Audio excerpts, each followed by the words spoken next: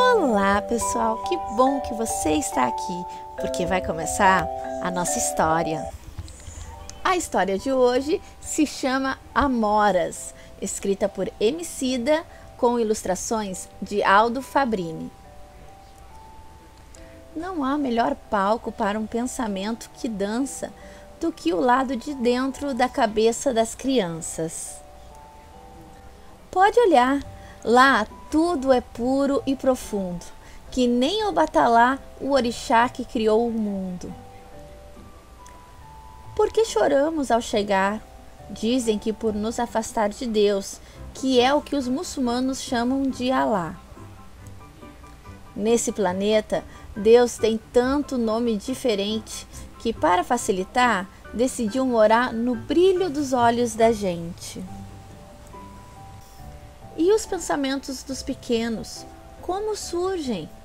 Com olhos de jabuticaba e cabelo de nuvem. Vão espalhando toda a beleza por aí.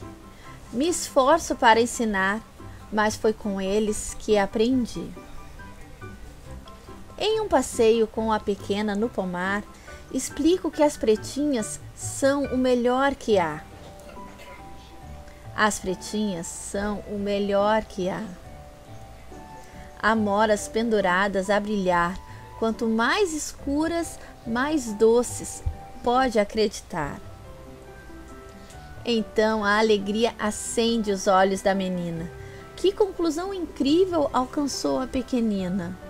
Forte como um lutador no ringue, e gentil como Martin Luther King.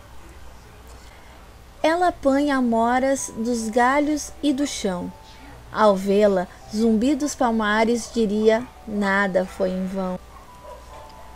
Nada foi em vão. Fez as palavras soarem como canto ao brincar com as frutinhas com sabor de acalanto. Me olhou nos olhos muito bem e disse: Papai, que bom porque eu sou pretinha também. Porque eu sou pretinha também. E chegamos ao final da nossa história. Agora, vamos conhecer um pouco mais sobre o autor?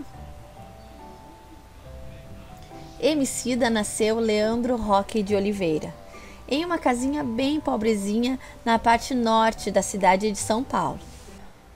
Sua imaginação foi sua melhor amiga e o fez visitar mundos incríveis, transformando-o em astronauta, desenhista, guerreiro, pirata, rei, pintor, samurai e muitas outras coisas.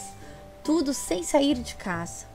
Foi brincando com sua imaginação e com as palavras que Emicida descobriu sua habilidade de contar histórias, fazendo poesias, e ele não parou nunca mais de fazer isso.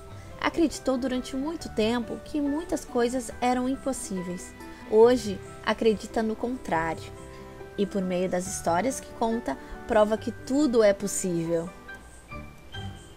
Tudo é possível.